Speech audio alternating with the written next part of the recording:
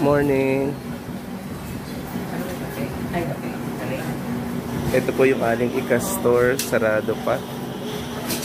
They are still preparing the food. Mga anong oras po bukas nyo?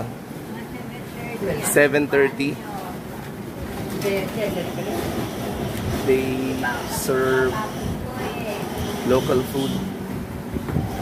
Ito yung ah, madalas na ma-feature. Lalo na sa mga food articles ni Ige Ramos.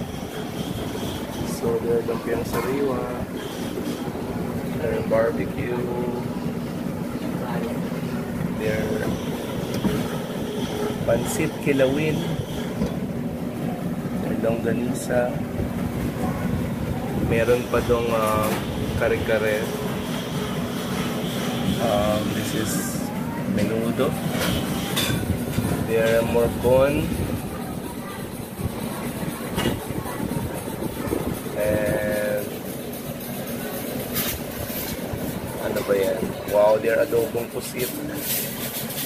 Look at that. Wow, sarap. Adobong pusit. And then it's fish, no? Yung nasa likod ay isda. Then atay. At meatballs din. Wow. Look at that. Yun ang kanilang morcon. And there, adobong pusit. Ito nga wala yung favorite ko na torta nila. And then they also have the hipon. Right there. Pumasok lang ako pero sarado pa sila. Mga 7.30 para sila mag-open.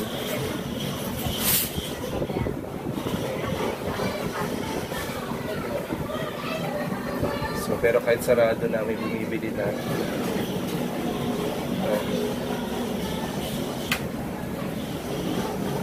There, kare-kare.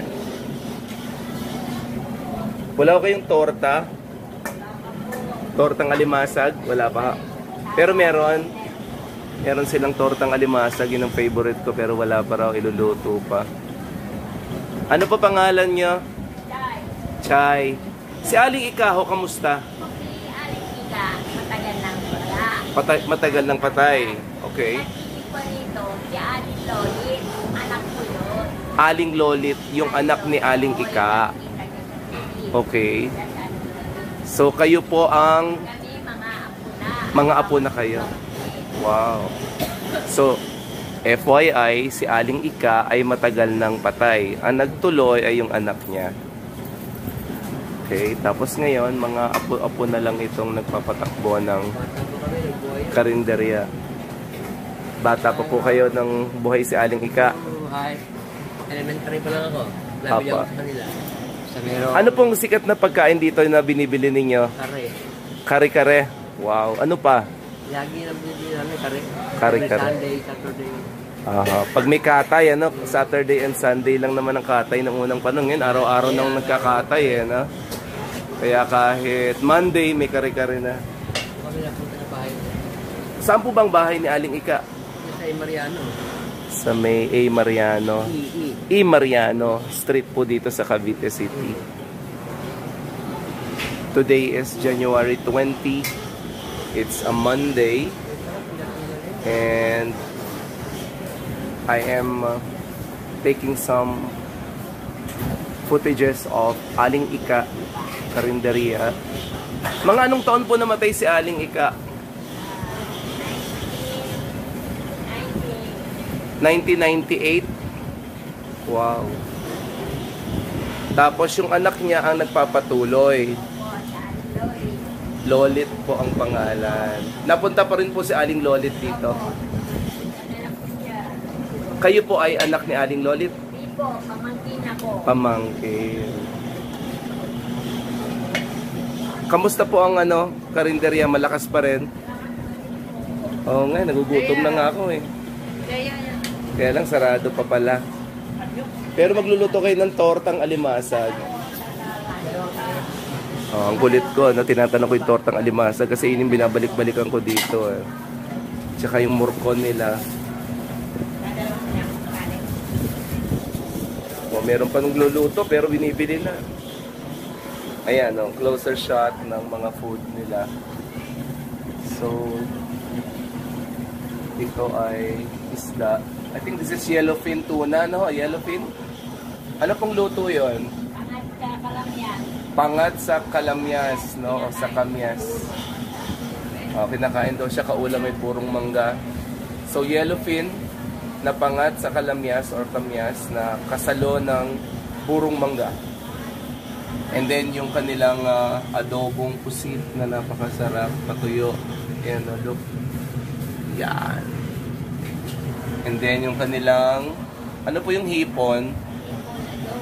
Adobong hipon. Magkano po per order ng mga pagkain? Mga ipon ko, regular 50 pesos. Ilang piraso po yung hipon sa 50? Apat na piraso, 50 pesos. Con 70. Ang morcon, ilang piraso po? Isang slice. ng morcon ay 70 pesos. Pero tignan nyo naman ang itsura, napakasarap. Grabe. Yun pong pusit. Isang order ng pusit ay 70 pesos. Yun pong yellowfin, 100 to 80 isang piraso. 100 hanggang 80 to 100 depende sa laki. Ito pong pansit ninyo, kilawin, puso. pansit puso. Magkano po isang order? 30 pesos. Ang kare-kare po na hinihintay na nila, Ay, 50 pesos po isang 50 ang isang order. Ito yung kasahog na alamang ng kare-kare. Ang lumpiang sariwa po, 30 pesos per order. Yun po ay menudo. Menudong Tagalog. Magkano po sa menudong Tagalog? 50 rin. Grabe, nagugutom na ako. Nagtatanong pa lang ako. Anong oras po kayo nagpupunta dito? 3, 2, back. Wow, 3 o'clock. Andito na kayo. Ano oras pong sarado ng karinderya 2 o'clock. ng hap? Ubus na yon. Wow, di panalo na yon. Alam na kita. Ang galing. Ang pamamalengke nyo, tuwing kailan? Everyday. So pagkata pagkasara, palengke na. Mamalengke na. Para sa susunod na araw. Ilang taon nyo na pong ginagawa ito? Ano pa, 1948. 1948 sa Lola. Sa lola pa. Kayo po, Kami, ito na, mga ano, mga 1995 na.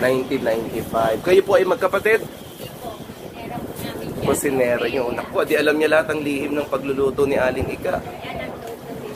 Wow! Ito yung sauce ng bibingkoy ginagawa nila ngayon. Ang bibingkoy po ay isang ah, kakanin na sikat na sikat na may lamang munggo sa loob. Ito po yung yarina na bibingkoy. Wow! Nilalagyan po yan ng gata sa ibabaw na may langka. May langka kayo ngayon. Wow! Sarap. Okay guys, yan yung bibingkoy.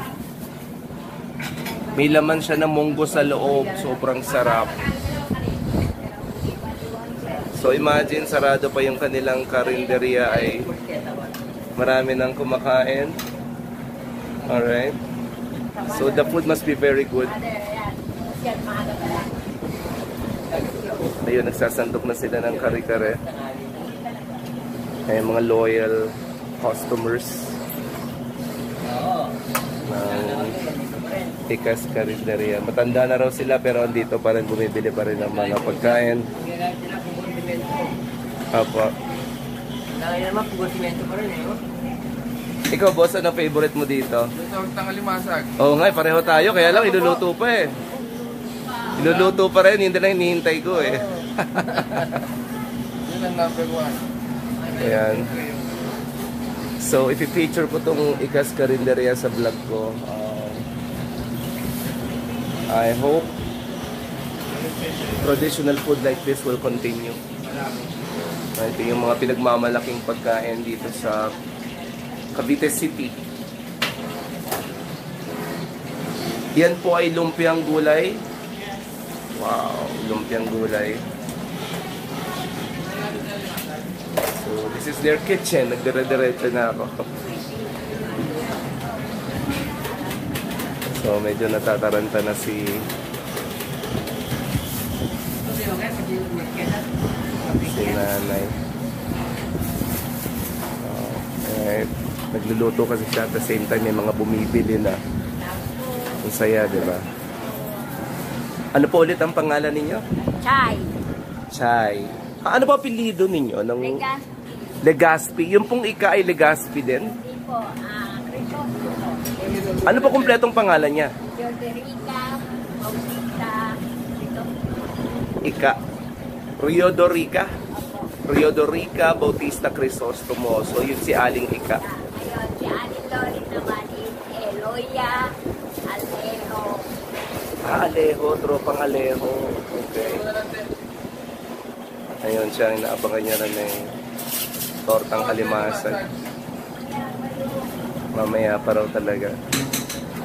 Alright, so this is my episode of my visit here.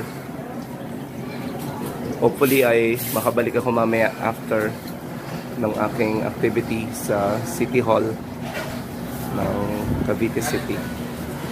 Good morning, thank you. Ito yung ending namin sa Aling Ika pero wala na akong masyadong inabot.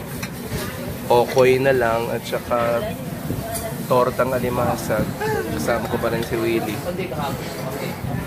So, ubos na lahat yung mga tinda nila. Oh. Ang daling maubos. Ah, anong oras lang? 11.15. Pero wala nang tinda halos. Kanina umaga, napakaraming niluluto. So, talagang maganda.